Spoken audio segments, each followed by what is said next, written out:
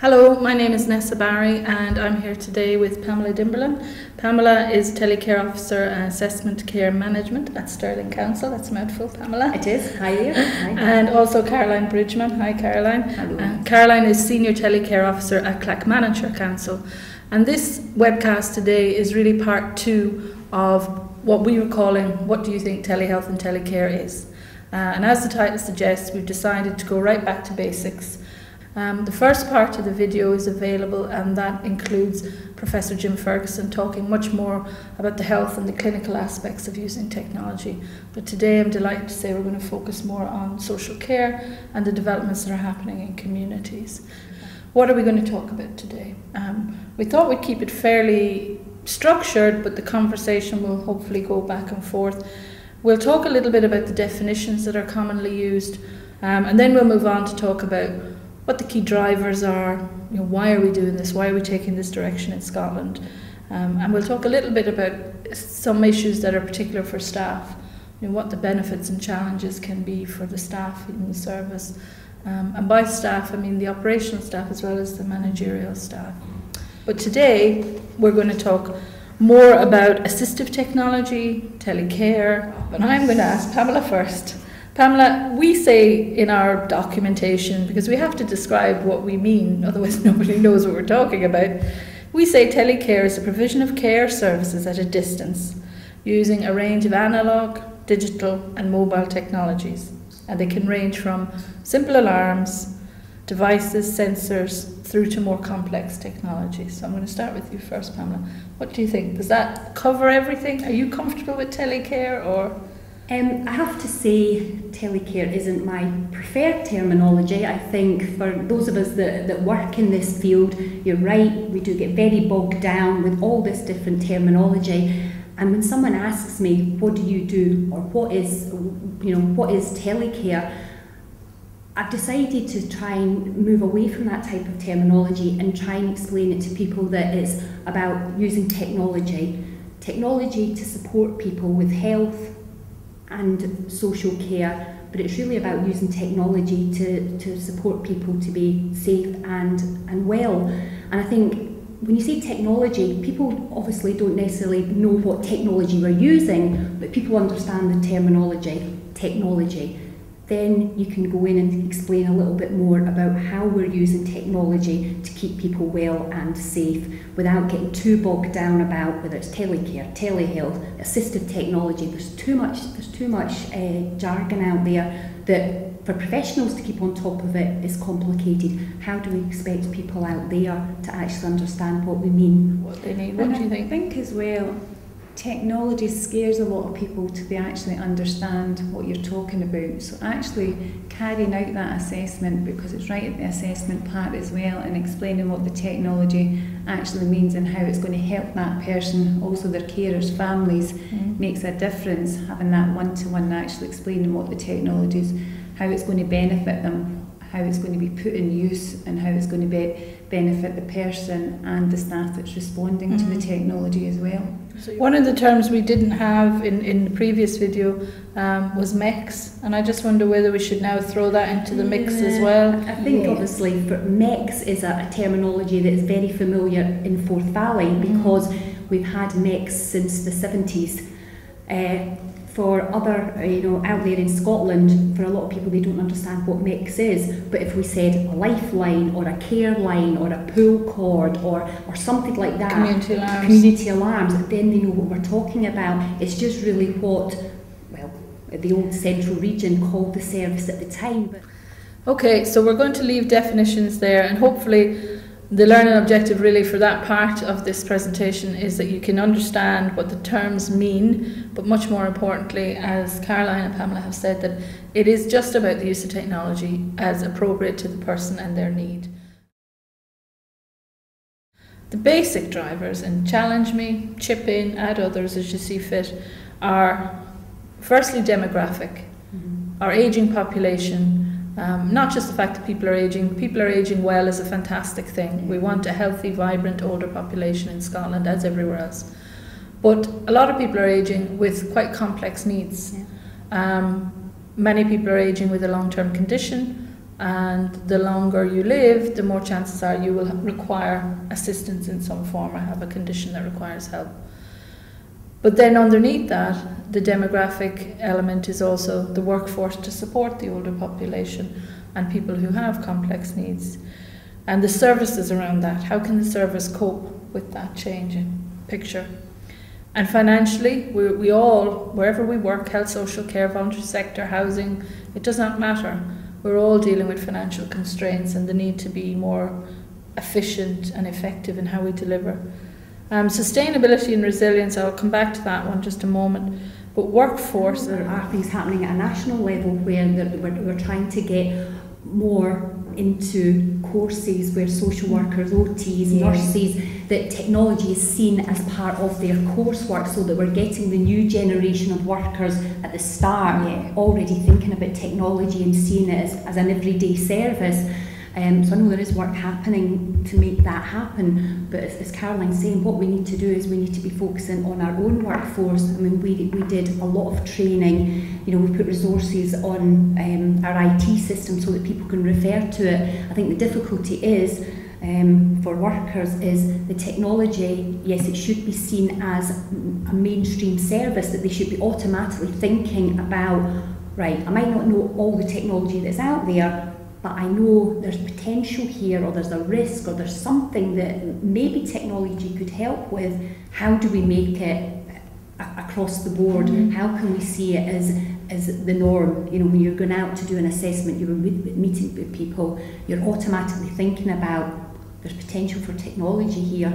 How, how can we support people to use it? And that's that's what we need to get across the and board. And it's bringing it in at the very first yeah. stage as well. I think that's where Yes. It's crucial that that's part of the assessment right at the starting yeah. point as well. I mean, we're doing a lot of good work, of course, Stirling Clacks Shared Service um, within short-term assessment, where people are coming into short-term assessment beds with a view to you know, getting them back home with sort of OT physio input and we're getting technology in at an early part so that staff can work with individuals yeah. to get their confidence up, get the family confident, so that by the time they've gone through the four, six week assessment process within that environment, they're, they're really confident, they're going home with the technology that they've used within that short stay assessment yeah. uh, environment and they're going home with it feeling confident and I think we need to build more on that.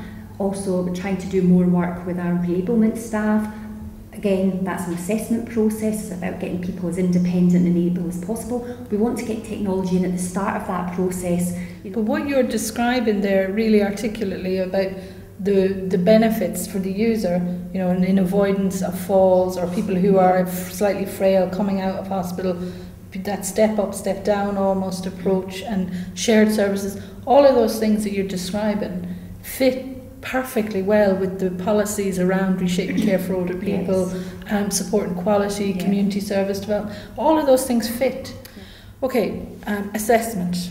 Now, the next couple of slides we have really are are partly about staff, again, training, confidence, competence. But I'd like to broaden that out in, in this instance and and try to give the viewer an understanding of what happens really if somebody comes into the service and how that assessment process works. so we have a scenario where we have an elderly man who has got a carer living at home with him, um, but he has complex needs. He's unstable on his feet. He has um, severe arthritis, diabetes, and respiratory disease. As the carer, I'm interacting with primary care services quite a lot. Mm-hmm. The GP, emergency call outs, district nurses coming. How do I come to the service to receive telecare in the home? Can you explain a little bit about what happens for that person? Where, where do they come in? Um, they can come in by a, a number of different ways, but the, the main place that they come into would be our community care intake service. But you could, as a carer, you could refer, person can self-refer, the GP can refer, anybody can really contact intake to make us aware of that of the person. Now that's I'm going to stop you there because I think that's really important, and I don't think people actually appreciate that. So you can self-refer. Of course. As yes. a family member or carer, you can you can put your hand up and say, yeah. "I need help," and come and get it. Yes. And I come to my local authority and ask for that help. Yes. The, the only thing, if it wasn't the person themselves that was making the, the contact, we would be asking you does the person, is the person aware that you've made contact? Are they in agreement to, yeah. to an assessment? Obviously, it's dependent on uh, if there's capacity issues or if you know if you were a power of attorney or, or, or something getting in touch. But mainly anyone can refer. I say we just ask if there's been permission from the individual. So let's take this then our, our scenario a step further. Um, that this gentleman has fallen. Yes. Um, he's recently been in hospital. He's been discharged from hospital today. Um, he's well enough to go home again, but probably only because there's a carer living at home. Mm-hmm. And who refers him at that point if he hasn't already received the services? Is it the GP?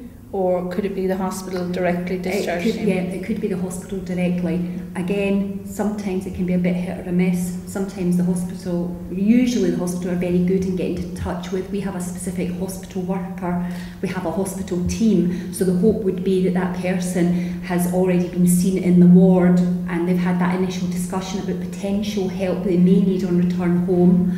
So um, either our workers within the hospital team could do the assessment while they were in the, the, the ward to do that initial bit of what might be required. Or it could be seen that actually they, they can be discharged home without, some, without, without an assessment straight away, but once they're in that home environment, we would get a worker involved to do the assessment in the home environment with the carer to determine what services might be needed. Um, or say there might be the person may come home expecting not to need any help. They get home and suddenly think I'm not coping. So they could pick up the phone and say I've just I've just come home from hospital yesterday. I'm struggling. Or the carer can say you know my dad's just come home. We're struggling. Mm-hmm. so th- that, that can be the into the service but it always comes in either to our hospital intake if they're in hospital or our community care intake um, if they're um, already, already at home. We also have to say we do have an emergency duty team if there is a crisis that comes in after working hours. Obviously, we work Monday to Friday, 9 to 5, but problems and difficulties don't stop at 5 o'clock on a Friday. So we do have an emergency duty team that do work out of hours. So if there was a crisis, say for example, as a carer, you took ill mm -hmm. yourself, you were having to go into hospital, but what do you do with dad? Because he's then going to be on his own. Mm-hmm. Well, our emergency duty team would become involved, and at that point, they may look for some type of emergency respite, or they may look to see um, can we get in some kind of crisis care to support the person in their own home while you know the, the carers the carers not around. Okay. Caroline, yeah, totally agree with that as well. Yeah. Um, I think the common one seems to be doctor, GP. Yeah, yeah. People seem to think they have to get a, a referral in from their doctor. And I think that is a crucial point as well, Nessa, because we, in my workplace, there's a carers um, Scotland group there as well, and we've done some awareness sessions with the carers mm. group and family members and things who were totally unaware of services that they could call upon. So it was really, really beneficial as well. We have regular meetings with these people because the carers group changes and it's been really beneficial and the amount of actual requests that's came through for technology that the without it being assessed by the community care teams they've actually purchased technology from our um, provider um, our sales rep for Time Tech who we have our technology from. And it's been really really beneficial to them to know what's out there and what services they can call upon uh, call upon and I think for people who work specifically in this field, we're very enthusiastic yeah. about technology. And it's about trying to convey that to other people. Yeah. And also, I mean, we're having to re educate. We're having to, I mean, I, I've been in, in, in social care 25 years. Caroline, I think you're similar as well. We've been around a long time and we've seen services change so radically from the, the way, you know, the time of the traditional home help that maybe came in an hour every day to do your housework and, and that was it kind of thing. Things have moved on mm-hmm. and they're going to continue to move on. It's about us with our enthusiasm, making sure that we can re-educate and you know, the people that we're working with and get them enthused about technology as well as the people, as you say, Nessa, a, a lot of the time they used to favour check visits. Mm-hmm. You know, mm-hmm. people would get four yeah. check visits a day. That person's only right for that five minutes the person's in the house. Yeah, exactly. What about the other, you know, 23 and a half hours? Mm-hmm. Yeah. And that's where it's about showing that technology a lot of it is 24 7 monitoring. You know, you're putting in devices that can do that monitoring 24 7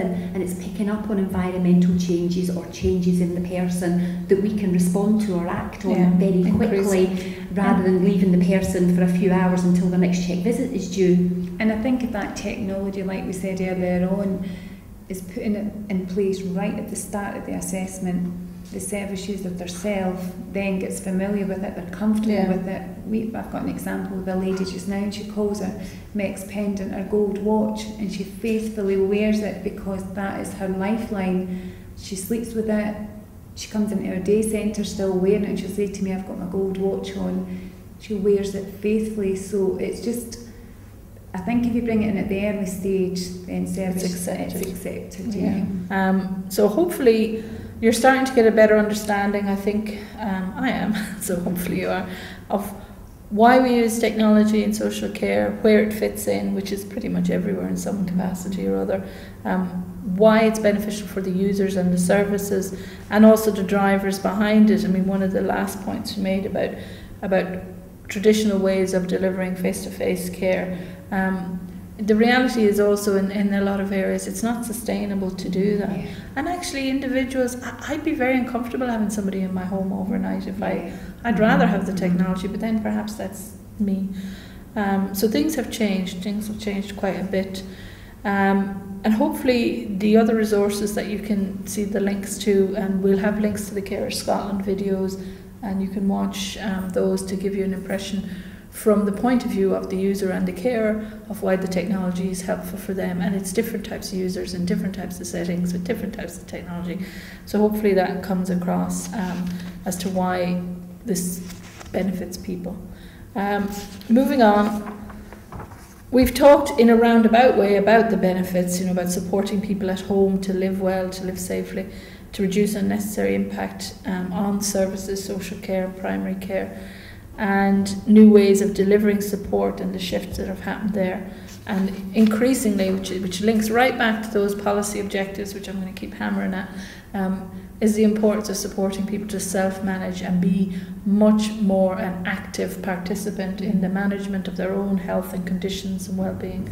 Um, and take that on board. That's not going to go away, is it? That's going to be a kind of constant for all of us. Um, I want to talk just before we finish, really, a little bit about the challenges. Um, we've picked up on a few of these as we've gone along. I would say that one of them is around awareness raising for service users, carers, citizens, um, but also for staff. You know, there is a turnover. There, there are new people coming all the time into the service We never knew they needed technology before, and suddenly, you know, they're in that position. Equally, there are new staff all the time coming into the service who need to be made aware of where it fits in. Um, and there's a change, as you pointed out, in technology and what it can do and how well it can do that. More wireless services, maybe more digital services, what they can cope with. But I think also another challenge, and we've we've picked up on this in various points, um, is the issue about implementation, the policy, the reason for doing it, potential benefit. You know that that kind of whole ball of string there about getting the message across, and you've both spoken very clearly about that. I think that is a challenge. I think it's just something you have to keep chipping away at. Um, but I would also say there, tied into that, is is identifying the benefits, you know, for staff and for service users. Now, I'm assuming in Forth Valley and Stirling and Clackmannanshire that that's something that you're doing. You know, you're gathering information from the systems as they're used. And then you're reviewing the technology that's been put in place Yeah. for that person. Do you well. have a formal process for doing that? You know, sort of six months in or a year in, do you say, let's look again now? And What we would do, we, we review every six months um, with the technology that's gone in place, and then if there's any issues with the technology that has been put in place, we would raise it with the assessment care manager Okay. teams yeah. and make them aware Yeah. of it. And does the review process, you know, do you actually end up taking equipment out, changing equipment? Is yeah, it we can do, Yes, yeah, we can yeah. do because we might find it someone that's maybe had a few falls Mhm. due to poor mobility for whatever reason, that fall detector maybe six weeks down the line is no longer required. So Mhm. there is a review process, and then we look at the, the volume of calls that's come from that person as well. So we take that back to the assessment care manager as well, uh, management teams, and any issues we have. We Because that we are them. trying to do preventative work, you know, we Yeah. are trying to, to work with people with the, the work that we're doing in, with reablement and short-term assessment. You know, we are trying to keep people as mobile and as healthy and as well as possible. Uh, as Caroline said, equipment that might be needed at a period of time where they're, they're, they're less well, they don't always need. So yes, we need that review. So it's like an add-on and take off of equipment sometimes as well that's required. Mm. So they may have button and box fall detect, but later on they might need other technology. So it's like Yeah. add-on of peripherals as well. And sometimes people themselves or their carers are very good at pressing the button on And the box and letting them know. So it doesn't have to wait till that six months. If there's a change, they can press the button or phone up and say, I'm having a problem with, or there's an issue with, or actually we don't need it. So it's not just about us, it's about the person being proactive. And I think, I would imagine when the, the equipment's installed, the person who's doing the installation would say, any problems, get in touch, or if things change, just get in touch, we're always here. Mhm. So And there is information left at the installation with the service user as well. So you would Mm. leave all the, this information with them and telephone numbers to contact and Mm. things as well. I Is know, sorry, I know you touched on the fact that maybe we're not as good as shouting about it.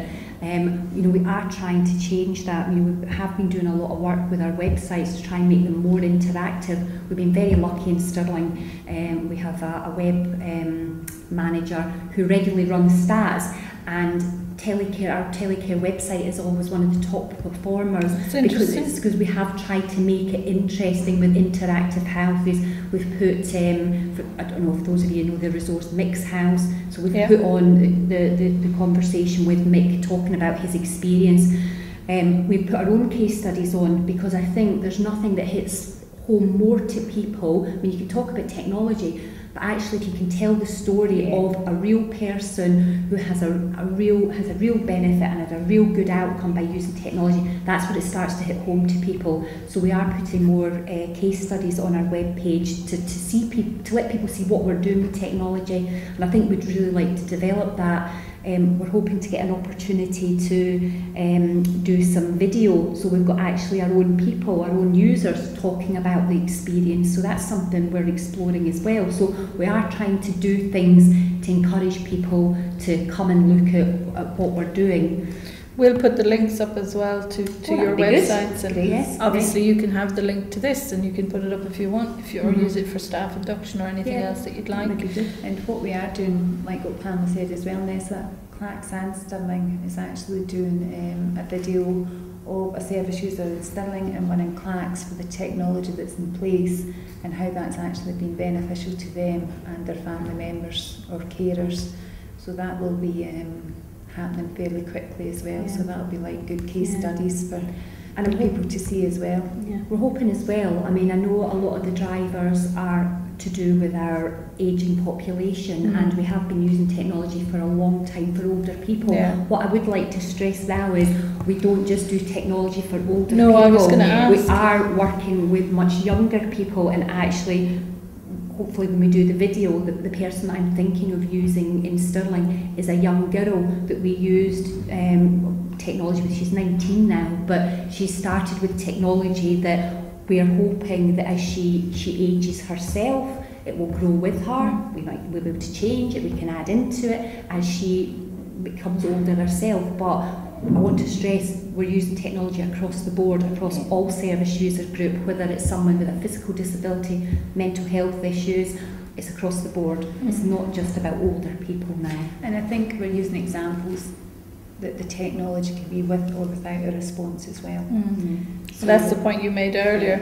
It might be about reassurance for the individual or simply helping them negotiate their own home environment, Yeah. but it And- doesn't have to be connected up to. No, doing a lot with supported accommodation where there's there's shared you know people staying in a shared property where there's maybe a one staff member on duty that has to respond to different mm-hmm. people. So we're putting technology in there, or core and cluster where there's maybe three or four flats all together, but there's only a staff member in one. connecting up technology so that there's a alert and that staff member can respond. We're, we're trying to, we're becoming more and more creative with our technology to support the fact that our resources are stretched and we can use technology to, to help with that. And what we've been doing as well is putting technology into respite accommodations because Mhm. we've got one young girl that we use in Clacks and um, we've done some training with our carers as well so the equipment that she's got in her home actually goes into the respite accommodation when she goes into respite on weekends as well.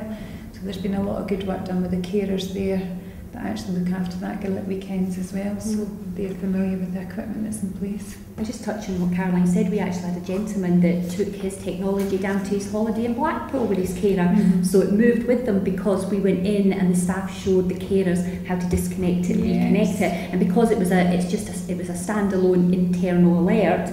He could take it with him to Blackpool and he could have it in his room and the carers were in another room. If he got out of bed, they knew about it. Yeah. So there's lots of flexibility. It's amazing what we can do with technology. It's not just about being in your own home. Yeah, it's brilliant. Um, I think that's more or less the point where we're going to end. The final slide just highlights to you that hopefully, and I think you've, you've just really done my job for me, that you've seen the range of uses that are out there and the range of staff that are potentially involved, um, and staff and carers and formal carers and informal carers, and the range of groups, um, and particularly interesting to hear about work with Carers Scotland and um, in housing, and you know, just it's really everywhere. Um, so hopefully this has been really helpful and informative. Thank you very much to Caroline Thank you. and to Pamela for taking the time out of their day to come and do this. I know it's not always the easiest thing to do, so I really appreciate that. Um, I think it's helpful. The very last note is to mention the Learning Network. Um, these videos are supported through the Learning Network, and if you wish to join, contact me. You'll see my details on the slide. Also, if you wish to find out more about all kinds of different ways of using technology, um, you can go to the community website or use the other links on the slide, and we hope you will do that. And you can also see other webcasts about more um, specific topics, so it might be dementia or epilepsy, etc., like that. So if you wish to go and view those, you can do that as well. And that's it. Thanks very much, guys, Thank for coming you. along. Can I just add a quick point Yes. before we finish? I just want to say, whoever out there is seeing this when it goes live, you may not know about the diff- all the different technology that's out there, but please just be thinking about technology and know that if you make contact with any local authority, they will have some type of person or service that does technology and get in touch with them and talk to them about how technology might work with the, the, you know, the people you're dealing with. Excellent point. Thank you. Caroline, you No, doing? I'm absolutely fine. Thank Thanks you. very much. Thank you.